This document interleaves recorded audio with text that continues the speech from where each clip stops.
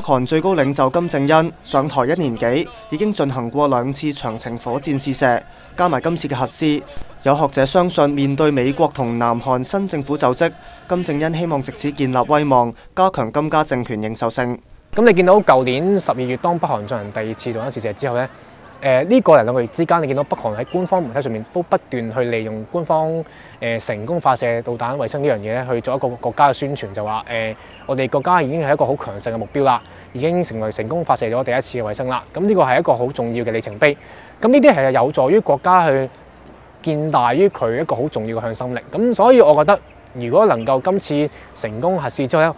我都相信金正恩都會充分利用咗呢個成功嘅案例去助長佢建立更加大嘅威信嘅情況。鍾樂偉認為核試明顯係要向美國示威，並將北韓備受國際制裁嘅責任全部歸咎於美國。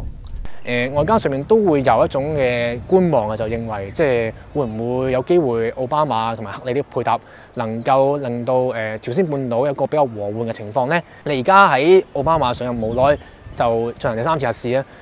我相信呢個係會令到誒奧巴馬政府都會有一定程度嘅擔心，就係點樣去處理呢個危機呢？究竟會唔會用翻以往嘅制裁措施去做呢？定係會有啲新嘅方式去做呢？咁呢個係對外嘅一個好明顯嘅考慮啦。鍾樂偉認為過去國際對北韓制裁嘅成效唔大，核試成功之後，北韓係咪仲願意重返談判桌，要視乎中國係咪會收緊俾北韓嘅外貿資金。香港寬頻電視記者郭子宏報道。